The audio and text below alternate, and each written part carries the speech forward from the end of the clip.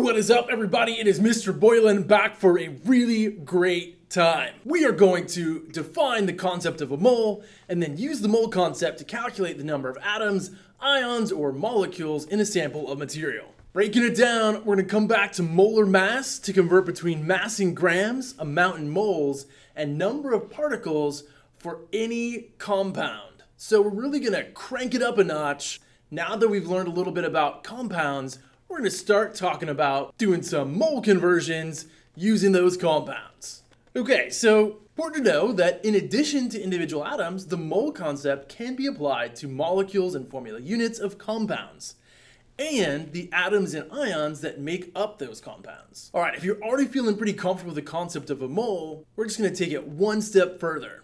Now, to help you better understand the idea of a mole as it applies to compounds, I'm gonna start off with a bicycle. Now, if I had just one bicycle, recognize within the one bicycle, I have one bicycle frame and two bicycle wheels. So if I were to write a formula, I might come up with bicycle frame BF, bicycle wheels BW2.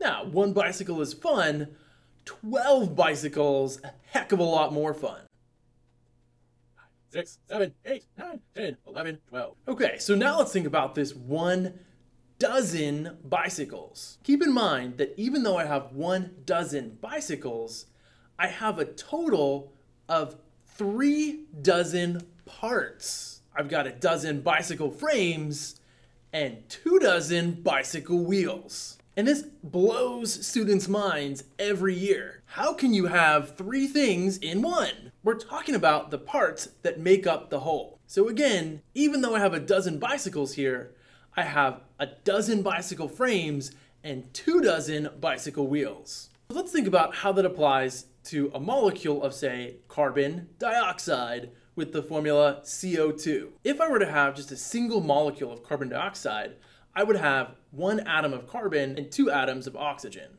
If I were to have, however, a dozen molecules of carbon dioxide, 6, 7, 8, 9, 10, 11, 12. If I were to have a dozen of these molecules of carbon dioxide, recognize that I have a total of three dozen atoms. A dozen atoms of carbon, two dozen atoms of oxygen. Now, hold on to your hat. What if I had a coefficient of two in front of my carbon dioxide?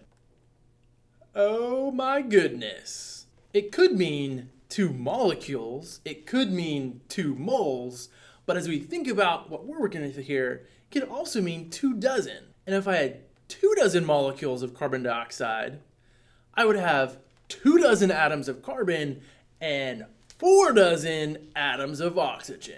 And if you don't believe me, pause the video and count them up. Math.